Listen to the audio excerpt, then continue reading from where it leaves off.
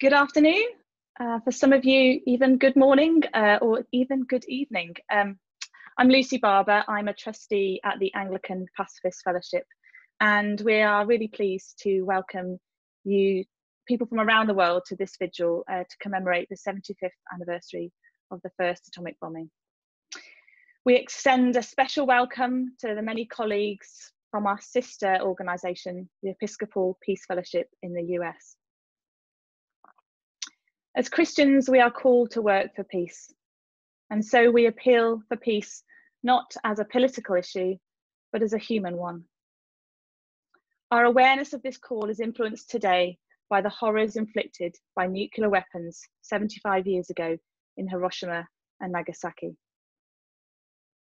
As we gather in our homes around the world, we pray that this anniversary will signal a renewed effort by all to eliminate these weapons of mass destruction. During our time together, we will be hearing reflections from a number of people. Some have been recorded um, and some will be live. We shall also be sharing some prayers and the music, and I hope you will join in with the music as you feel comfortable. It would also be wonderful if you would like to share any of your own thoughts, reflections, or prayers and you can do this by um, typing into the chat icon, which should be on your screen. APF will then save these and put them into a compilation on our website and social media platforms. And so let us start with a prayer. God, our creator and sustainer, we gather to pray as a broken people who today remember the darkness and shadow of death and destruction 75 years ago caused by nuclear weapons. We know that we deal falsely with the world and with ourselves, healing wounds too lightly by saying, Peace, peace, when there is no peace. Let there be sown in us anew the unity, the light, and the peace which passes all understanding.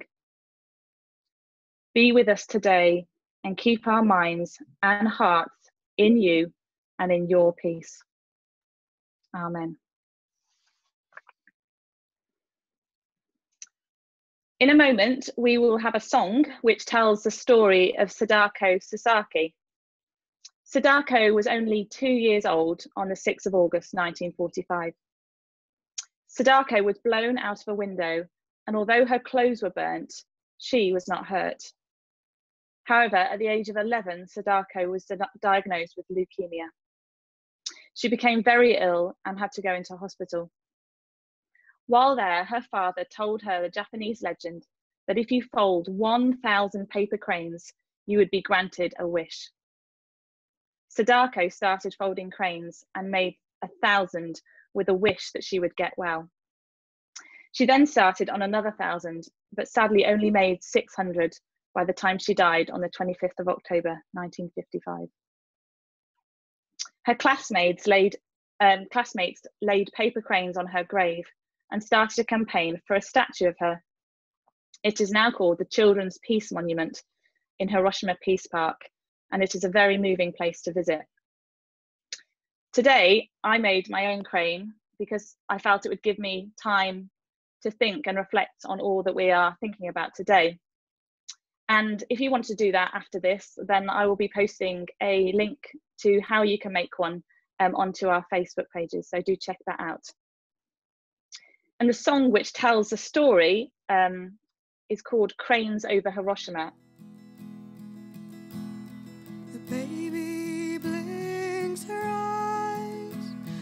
Sun falls from the sky. She feels the stings of a thousand fires as the city around her dies. Some sleep beneath the rubble, some wake to a different world from the crying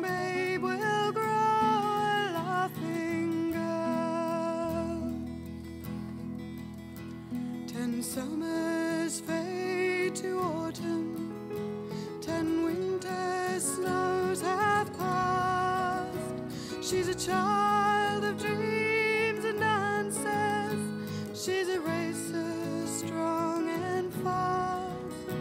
But the headaches come ever more often, and the dizziness always returns. And the word that she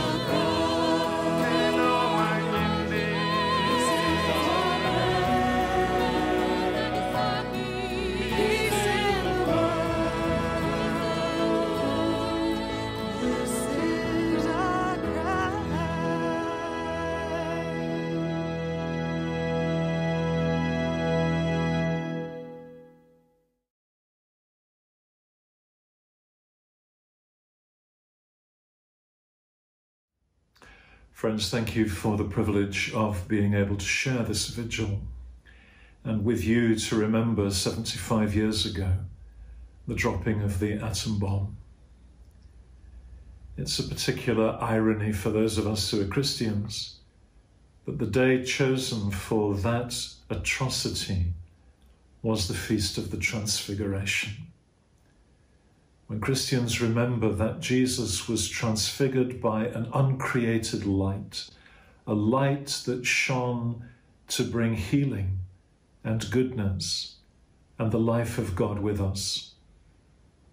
And yet, what we remember today is a created light, a light that shone with uh, violence and with evil, a light that took so many thousands of lives 70 to 80,000 people in Hiroshima.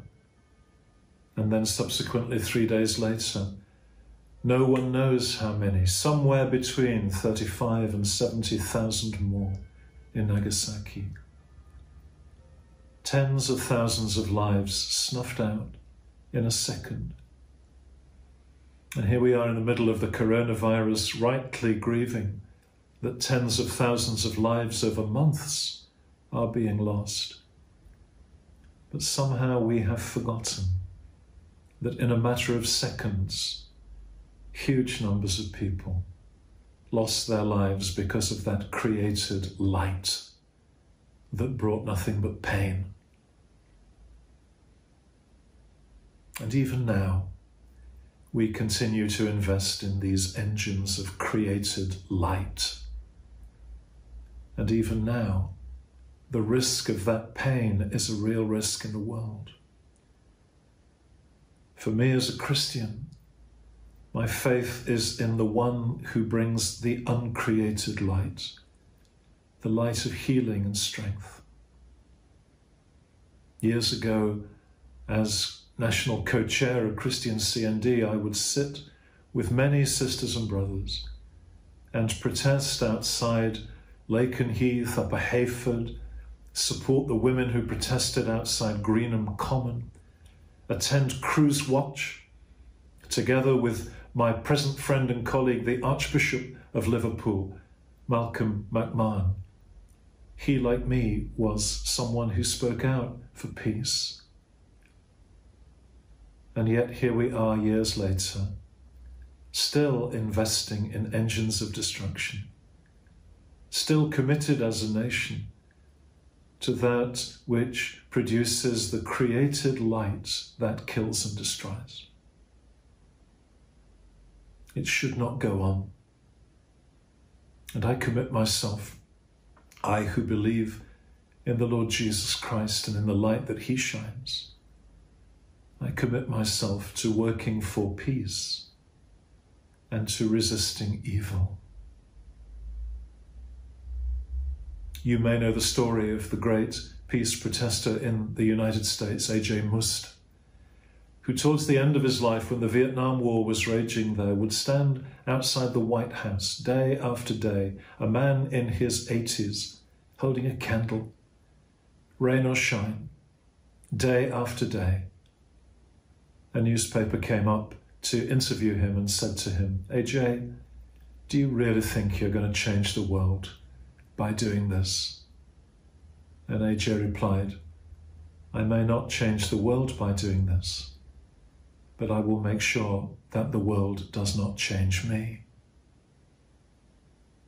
As we stand in vigil, remembering the created light that killed, we are determined that the world will not change us, that we will remain awake and speak, speak truth as we can to power.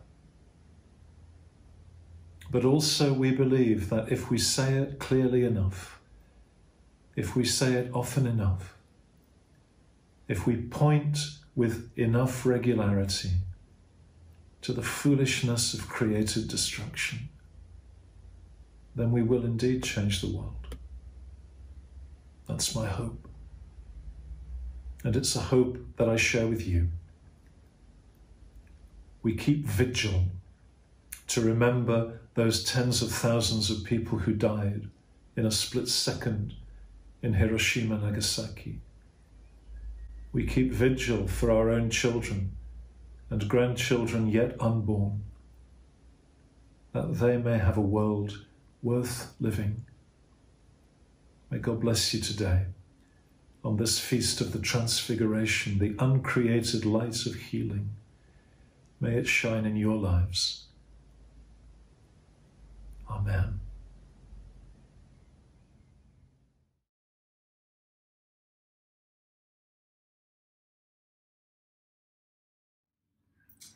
I was 13 and in my first year at high school. I was pushing my bike against the wind in a steady drizzle on the morning of the 7th of August, 1945. This was in Dunedin, New Zealand, where I grew up. I'd heard the early morning news on Radio 4YA. I was even then the news addict that I still am now, pushing 90. Day by day, I'd followed the whole Second World War. But this was not like other mornings. Yesterday, one American bomb, called an atomic bomb, had wiped out a whole Japanese city. That blew my mind. How could it happen? Just maybe, we thought, our physics master might be able to help us. He took the second lesson that day. He had no forewarning as our hands shot up. Please, sir, can you explain to us how one bomb can destroy a whole city? What is an atomic bomb? Mr. Roberts did his best to explain nuclear fission, or was it fusion? Of course, we didn't understand. I still don't. But as our physics master went to leave the classroom, he turned back. I can tell you one thing, boys. Either we abolish war, or war will abolish us. Roberts was not just an excellent teacher. The words that ended this lesson were a lesson for life. I cannot forget it.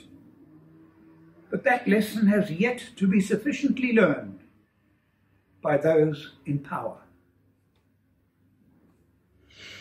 Though it is disputed, we can now say with confidence that the bomb that turned a hundred thousand human beings in Hiroshima into ashes in a split second, and the second bomb three days later in Nagasaki, with another 80,000 dead, and many, many more who later died of radiation sickness. We know now that these two bombs did not end a world war, as we have been asked to believe. Japan was putting out feelers for peace. These were political weapons to demonstrate American power. One could argue that they inaugurated the Cold War that was soon to follow. The Japanese victims had paid the price for a subsequent nuclear holocaust that might well, but did not happen. More than once, it very nearly did. Throughout the long years of the Cold War, statesmen, almost like a miracle, did not lose their heads. Thanks to that successful gamble on their sanity, and I should surely add, by the grace of God, we survive today. But for how much longer? How much longer in these times of political insanity? Make our nation great seems to be saying we need the bomb. It was no surprise that before long the Soviet Union had it. Britain too, and France and China and India with Pakistan in tow. And an open secret, Israel. Who else? North Korea. Significantly, not Japan. But hold your breath for a year or two. It is easily forgotten that Mandela's South Africa virtually had it and then wisely decided against. Germany has abstained, but not really. Along with the rest of NATO, Germany shelters under the American nuclear umbrella, a kind of morality on the cheap. Speaking today for the Christian peace movement, it is obvious to me, even though still far from obvious to many others, that the possession and readiness to use weapons of mass destruction is incompatible with the teaching of Jesus of Nazareth, as he says, But I say to you, love your enemies. They that live by the sword shall die by the sword. These teachings continue to be disregarded by most Christians. The case for nuclear disarmament, however, needs to be made for that very reason, again and again and again. The Trident submarine fleet, a mere fragment of the global nuclear arsenal, amounts, it needs to be faced, to saying, if need be, we are prepared to commit mass murder. Nuclear weapons are an abomination. There is no rational case for them, let alone a moral or a theological one. With hindsight, Churchill described even the blanket conventional bombing of civilians as state terror by a different name. Two days after Nagasaki, President Truman said in his own defense if we are dealing with a beast, we have to treat the beast like a beast. That is ultimate dehumanization. To recruit God in mitigation for all this, as happened recently in Westminster Abbey, is quite simply blasphemous. Pope Francis has spoken for Christendom by saying as much, though in his loving, measured language, which leaves no room for hatred, only for forgiveness. There is good news. Globally, in the context of the United Nations, a treaty now exists to make nuclear weapons illegal, like chemical and biological weapons already, an offence against international law. I am speaking these words in New Zealand, one of the nations that has sponsored this treaty. When it is ratified by a sufficient number of nations, it then becomes law. That law challenges the unrepentant nuclear powers. To present that challenge in prayer and in action is the immediate task of the Christian peace movement. And far beyond that, of decent human beings everywhere. The stone figure of the crucified Jesus in the church of St. Francis of Assisi in the city of Nagasaki was molten almost beyond recognition by the explosion of the second atom bomb. That image speaks silently of a suffering God. God's compassionate response to human violence.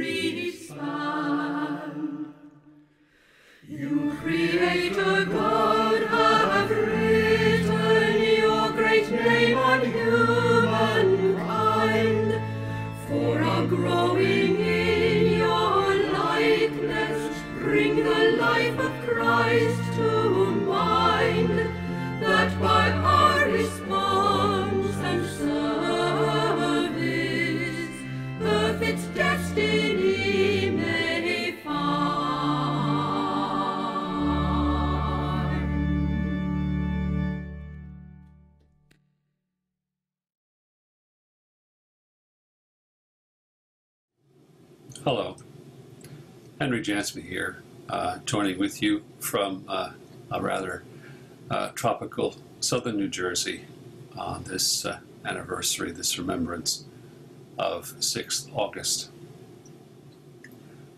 You know, when I come to this day, there are two images always in my mind. Both are connected to clouds. The first one is an eyewitness testimony from a young schoolboy half a mile from the epicenter of Hiroshima when the moment of impact came. This is what he wrote. My classmates were dying one by one. That made me very frightened. I struggled to free myself from the broken fragments and looked around. Through a hole in the roof, I could see clouds swirling in a cone. Some were black, some pink. There were fires in the middle of the clouds.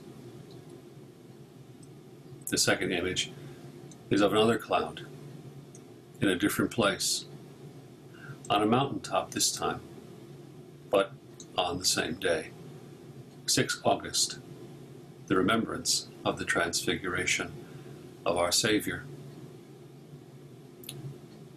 And while Peter was still speaking, behold, a bright cloud overshadowed them. And a voice from the cloud said, This is my beloved Son, with whom I am well pleased. Listen to him. When the disciples heard this, they fell on their faces and were terrified.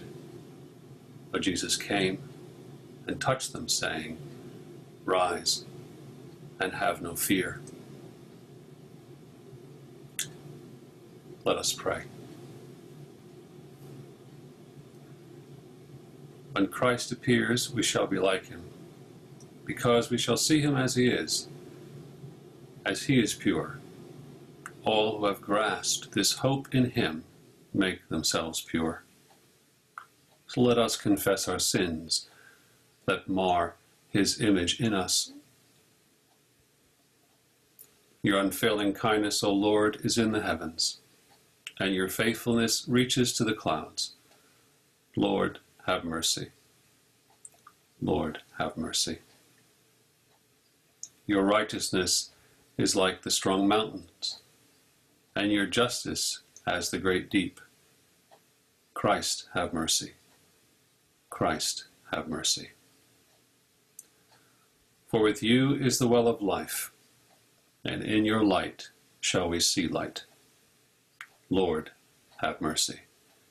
Lord, have mercy. Father in heaven, whose only begotten Son, Jesus Christ, revealed his glory before the chosen witnesses upon the holy mountain, and spoke of the exodus he would accomplish at Jerusalem. Give us strength that we, beholding by faith the light of his countenance, may be strengthened to bear our cross and be changed into his likeness from glory to glory, who is alive and reigns with you in the unity of the Holy Spirit, one God, now and forever. Amen. In the light of great wickedness, on a 75th anniversary of remembrance, let us be encouraged in our confession to know that in Christ, little boys whose testimony was full of fear, and for you and me, who give our own testimony in the wickedness of war and violence, may be resolved in Him who said, I am the way, and the truth, and the life. No one comes to the Father except through me. Peace be with you.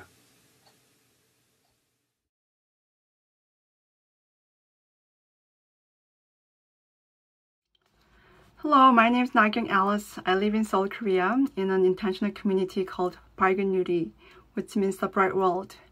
While thinking of the Hiroshima Day Vigil, I came across an account by Setsuko Thurlow, who on the morning of August 6, 1945, witnessed a white flash and the smoke in the air after the bomb was dropped. She was 13 years old. After reading several paragraphs, I had to stop because I was so horrified by even the brief descriptions of what she saw and how she experienced the cessation of her emotions. It was as if I had read about the bombing for the first time. But it was not. I pay attention to the news covering the bombing and the effects of radiation. In 2009, I went to Nagasaki and visited the Nagasaki Atomic Bomb Museum, where I read many accounts and saw photos and videos depicting the calamity of the day in 1945. I noticed how forgetful I was and how far removed I was from the realities of the nuclear weapons. Living on the Korean Peninsula, however, you can't really avoid noticing that the nuclear weapons have become almost a household name that gets thrown around in every other conversation on the safety of where I live. And in the northern part of the Korean Peninsula live 20 million people. The world focuses so much on the nuclear weapons that the lives of these individuals are often forgotten. When I was in my 20s, I dreamed about working for the future where I would freely drive through the roads of North Korea to China and to Europe. But then I came to realize soon that I should accept that it may not happen in my lifetime. In tackling a problem of the magnitude of nuclear weapons, it's very important to be prudent, realistic, and persistent. But we also have to remember that lives are at stake at the very moment. It should not be okay to rely on nuclear deterrence when it means the potential is creating another Hiroshima. In my community, 밝은 누리, we just completed 1,000 days of a life and peace pilgrimage for, life, for peace in Northeast Asia. We prayed for and shared our messages on the disarmament and permanent neutrality of the Korean Peninsula. During the three and a half years, we visited about 45 cities and 10 countries around the world where civilians suffered during historical events. We prayed for those souls that suffered, and we also met with many people who are seeking and working for peace in the world. It was very encouraging to connect with very many people who are dedicated, who are dedicated to bringing peace to our daily life. We also realized that the denuclear, denuclearization of the Korean Peninsula is tightly aligned with getting rid of all those weapons in the world and with easing the mounting, mounting tensions between the world's superpowers. During the COVID-19 pandemic, I found many silver linings, and one of them is that it has become obvious that nuclear weapons are incapable of solving the world's most pressing problems. We talk about nuclear weapons, but when we talk about it, it's easy to think of them as something not real in our life. While we continue to fight for the grand cause of disarmament, it is important to take action at the ground level. We would be remiss to keep praying for peace without paying attention to the footprints that we leave on the earth. For example, much of the electricity in South Korea comes from nuclear power plants, and the electricity is very cheap. It is one of the only places in the world where electricity is cheaper than gas prices. So in my community, we have worked for and developed an alternative lifestyle where we are mindful and take care in what we consume and how we consume to sustain our daily life. So my message is that, we remember the past, not repeat, and to create a world with peace. And as we do that, we also need to keep our actions and ideals in sync. Our path to peace should be a peaceful journey. Thank you very much. Thank you to all those who have contributed to these recordings. Um, I think you'll agree that their words have given us a lot to think about already. And so now I want to welcome you to join me in uh, a short time of silence to reflect on all that we have heard and to remember how the world changed 75 years ago.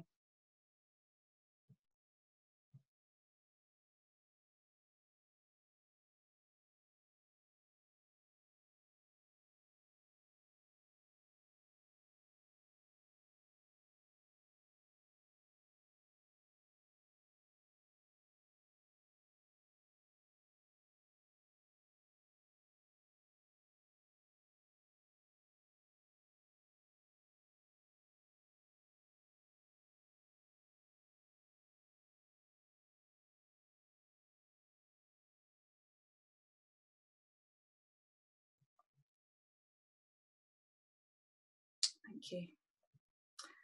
I'd also love to remind you that you are able to add your own prayers or thoughts or reflections. You can tell us where you're from, where you're watching this from, um, by uh, typing into the chat icon. I know a few people have already done that.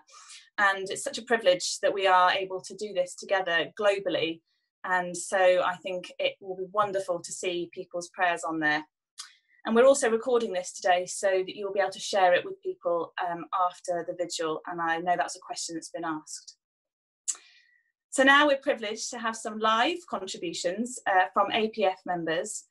And firstly, I want to hand you over to Julia Mercer, APF trustee and member of Trident Ploughshares, who is bringing us a very sad and harrowing poem. Thank you, Julia. Hello, friends all around the world.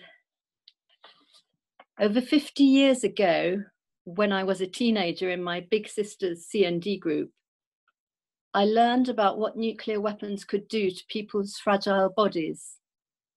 And that knowledge has led me to use my own body in non-violent resistance to nuclear weapons, sitting down and blockading the places where nuclear weapons are made and stored. This poem is very gruesome, but I feel that, like with the Holocaust, we need to remember the horror of that day. The poem is by Japanese poet Toge Sankichi, a peace activist and survivor of the Hiroshima bomb. He died in 1953 when he was just 36. And one line, one line may need explaining. Um, there is a reference to stone images of Jizo, and these are small statues, heartbreaking statues, believed in Japanese Buddhist tradition to be the protectors of children and unborn babies. So, August 6th. Can we forget that flash? Suddenly, 30,000 in the streets disappeared. In the crushed depths of darkness, the shrieks of 50,000 died out. When the swirling yellow smoke thinned, buildings split, bridges collapsed, packed trains rested, singed, and a shoreless accumulation of rubble and embers. Hiroshima. Before long, a line of naked bodies walking in groups, crying, with skin hanging down like rags, hands on chests, stamping on crumbled brain matter, burnt clothing covering hips. Corpses lie on the parade ground like stone images of Jizo, dispersed in all directions on the banks of the river, lying one on top of another, a group that had crawled to a tethered raft, also gradually transformed into corpses beneath the sun's scorching rays. And in the light of the flames that pierced the evening sky, the place where mother and younger brother were pinned under alive also was engulfed in flames. And when the morning sun shone on a group of high school girls who had fled and were lying on the floor of the armory in excrement, their bellies swollen, one eye crushed, half their bodies raw flesh with skin ripped off, hairless, impossible to tell who was who. All had stopped moving. In a stagnant, offensive smell, the only sound the wings of flies buzzing around metal basins. City of 300,000, can we forget that silence? In that stillness, the powerful appeal of the white eye sockets of the wives and children who did not return home, that tore apart our hearts. Can it be forgotten?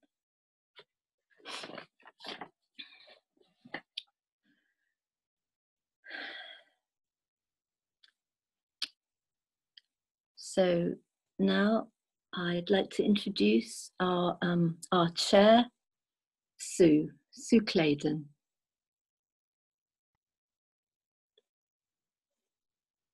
Hello.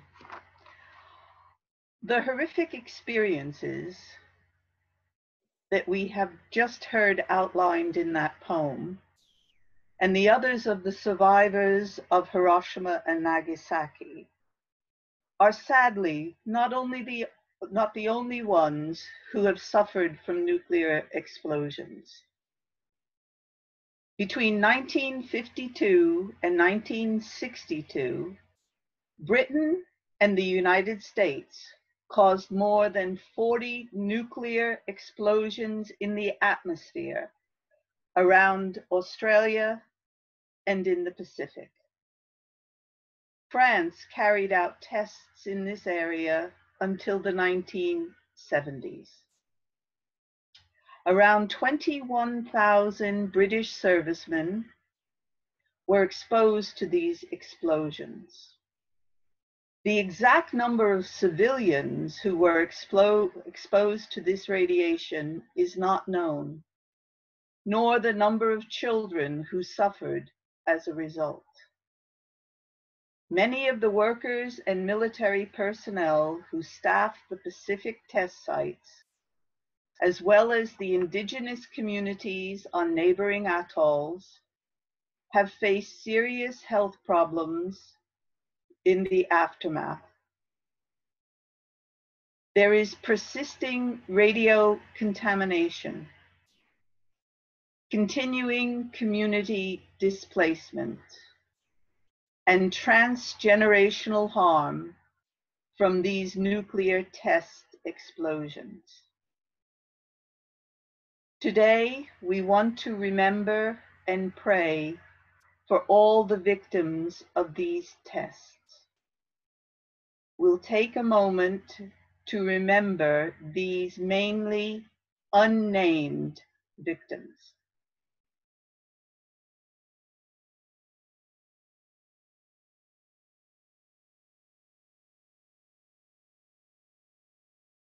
We remember the national servicemen, the Fijian workers, the Marshall Islanders, and other local people who have experienced early deaths or lifelong disabilities. We remember those of the three generations born since these tests with birth defects, as well as the jellyfish babies. We remember those who are still unable to return to their family lands because of the high levels of radiation decades after these tests. We pray and give thanks for all those who have supported and treated these innocent victims over the years. Lord, we ask for relief from suffering of these innocent victims to the race to develop nuclear arms. We pray on this 75th anniversary of the first atomic explosion that our resolve to work for the elimination of all nuclear weapons is strengthened, so there will not be any further victims of these immoral weapons. Lord, hear our prayers. Amen. Now I would like to introduce Jeff Smith. Jeff is also an APF trustee and he is a licensed reader in the church in Wales. Father, forgive them, for they know not what they do, said Jesus on the cross. The thing is, they did know what they were doing. The bomb was dropped in full knowledge of the consequences. But even so, God's forgiveness can still be there. Although with forgiveness must come some attempt not to do the thing forgiven again. So all we can do is to try to make sure this never does happen again. To heed Christ's command to love our enemies. It's incumbent on us as Christian peacemakers, therefore, to plant the message of peace in people's hearts, the message that war is something they do not want or need. And amazingly, there have been examples of Christian forgiveness even by the victims of Hiroshima. Takeshi Tamori was one of the few survivors of that day. He lost both of his parents and two sisters. As a young boy, he became a street urchin who struggled to stay alive by searching for food in rubbish bins in what was for many the poverty of post war Japan. He took an oath to avenge his family's deaths, and at 18 he emigrated to the USA. But due to the interest somebody showed in him there, in his well being, he was inspired to pursue a life serving others through Christianity and eventually became a Christian minister. But he still found it hard to reconcile this with his experience of Hiroshima.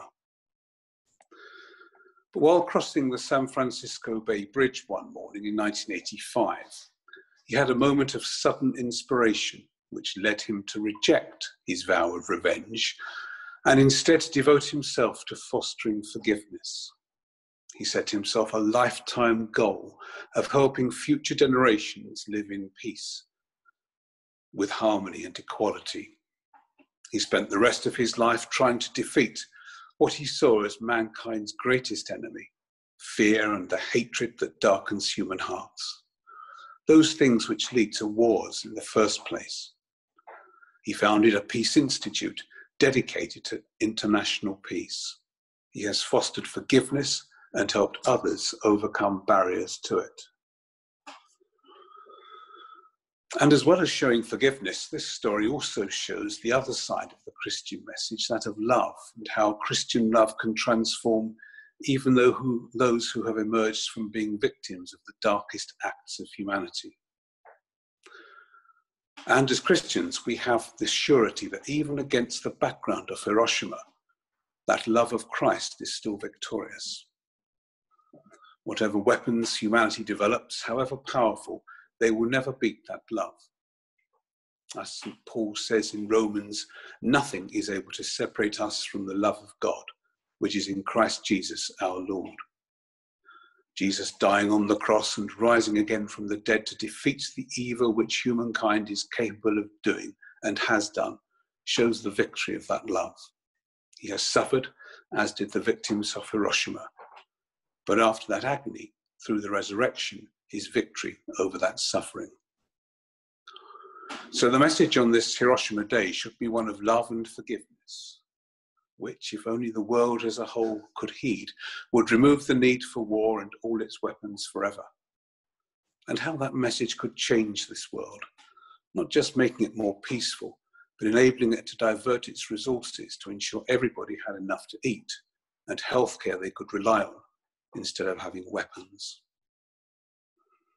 however horrible the things human beings can do to each other may be, the love and forgiveness of Christ is still there and is more powerful than anything else in the world, and itself cannot be overcome by anything else in the world. That message and the peace which results from it is the one that we must take forward on Hiroshima Day and on any other day when we remember the victims of war. Amen. And I now hand over once more to, to Lucy. Thank you, Jeff, Sue, and Julia. And as we come to the end of our time together, I would like to say thank you to everyone who has contributed to this vigil today, to all the speakers, to Sue and Bob Gilmurray for the music, for Arthur and Rob Champion for the wonderful technical support, and for APF's Tilly uh, Martin for her great organisation. And we want to also say a big thank you to you for joining us today, for uniting us all around the world, and for continuing to work for peace wherever it is that you live. Our final hymn today was written by APF member Reverend Christopher Idle for the 60th anniversary of Christian CND, which fell this year. The words are fitting as they call us to raise our voice to work for the elimination of all weapons of mass destruction. And as we end this time together, I pray that this commitment to raise our voice will be carried with us today. Thank you.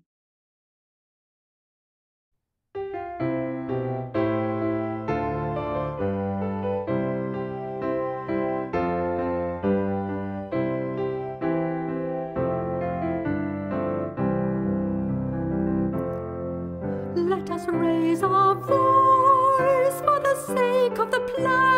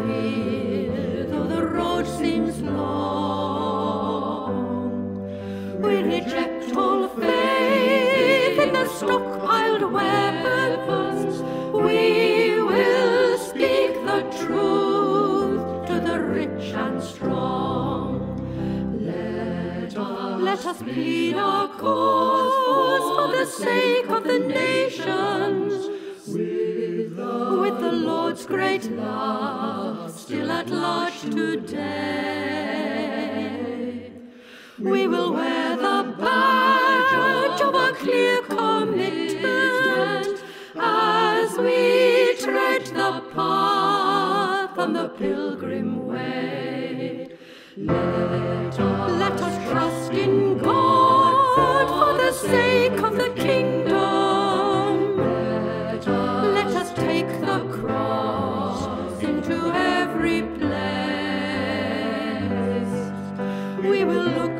Christ for his fruitful spirit, building peace on earth by his boundless grace.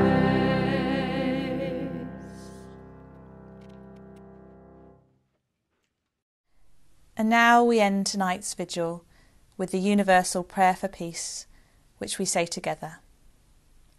Heavenly Father, lead me from death to life, from falsehood to truth. Lead me from despair to hope, from fear to trust. Lead me from hate to love, from war to peace. Let peace fill our hearts, our world, our universe. Amen.